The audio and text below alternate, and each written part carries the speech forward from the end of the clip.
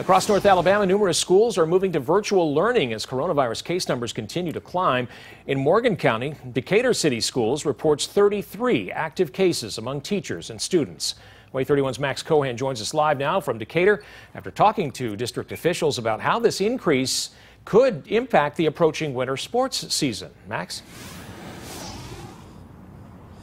The district has said there is no current plan to move the entire school system virtual, but District Athletic Director Watt Parker told me today even if the switch is made, it is their plan to continue playing, but he said even that plan could change at any time. We are going to go full speed ahead until we have to stop. And when we got to stop it, we'll stop it.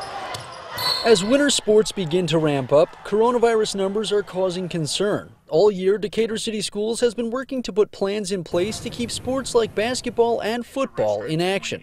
Both of the district's high schools were able to play their entire football schedules without any cancellations, but Parker said that won't be the case with basketball. I believe indoor sports will be a little bit more hit or miss than, than outdoor sports for sure.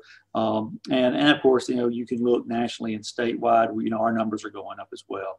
So it's going to, it's going to impact us. And so we're going to lose kids. I mean, we are losing kids. We've already lost some basketball games at the sub varsity level uh, already. The district's recently released winter sports plan outlines guidelines for fans that include masking when within six feet of members of a different household and restricting access to the floor level of the gym.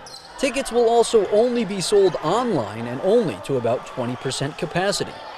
Teams will be spaced and expected to keep their distance when not on the court, sanitizing and disinfecting whenever possible.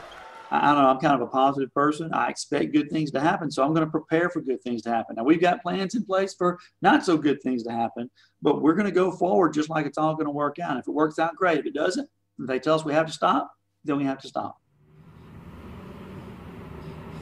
Parker said that student athletes in quarantine will obviously have a larger impact on these teams with smaller rosters, but said that the winter schedule is more flexible and teams will more than likely reschedule games instead of just forfeiting them.